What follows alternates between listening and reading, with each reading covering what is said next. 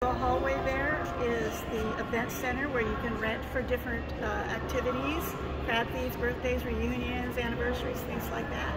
And the car sales office is beyond that where we've sold about nine cars uh, already in the last couple of months. Um, so yes, go ahead and look around.